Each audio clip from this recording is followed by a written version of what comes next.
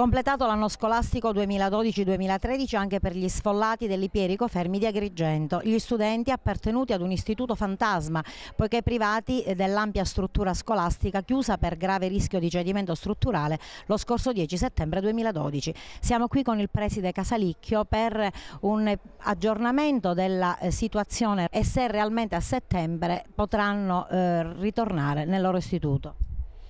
La situazione non si è evoluta per niente, nel senso che a settembre rischiamo di essere ancora fuori dalla porta, fuori da questa scuola, perché sicuramente il CAP non sarà pronto quantunque sono stati fatti i bandi e quindi chiediamo a viva voce che qualcuno si interessi di noi a partire dal primo cittadino di questa città, a partire dal commissario nuovo alla provincia perché ci trovino una soluzione in modo tale da poter iniziare la scuola regolarmente come tutti gli altri scolari e come tutti gli altri alunni della provincia. Oggi la provincia non esiste più, il commissario ha preso in mano la eh, vicenda, vi siete incontrati? Io incontrerò il commissario domani alle 11, a lui dirò e manifesterò eh, lo stato d'animo di tutta una comunità che rischia di eh, rimanere completamente fuori e dal diritto allo studio e dal diritto al lavoro e dirò che naturalmente quantunque i bandi siano stati fatti, quello che è certo è che a settembre non avremo una scuola nostra. Il caso dell'IP è quasi un caso di malascuola.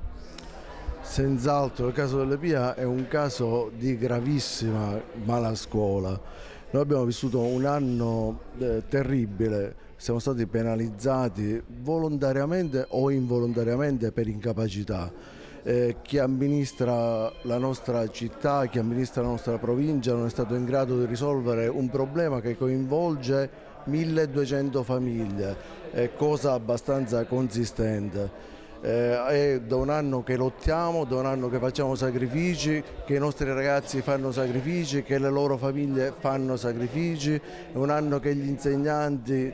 e il personale ATA fa sacrifici avendo turni eh, di mattina e di pomeriggio. Eh, la nostra utenza è un'utenza di, di ragazzi che viene dalla provincia eh, ha difficoltà a raggiungere la sede nel pomeriggio. Io sono una vittima, eh, infatti sono un perdente posto e dopo vent'anni di, di, insegnamento dovrò ritornare a girare per la provincia, eh, lo stesso tanti altri colleghi della scuola.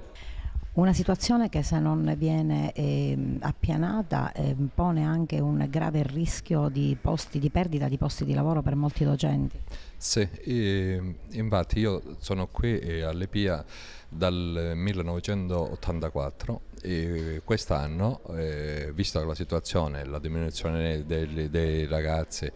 e si è creato un disagio e io sono uno di quelli che probabilmente eh, dovrò fare, anzi ho già fatto domanda di trasferimento in un'altra scuola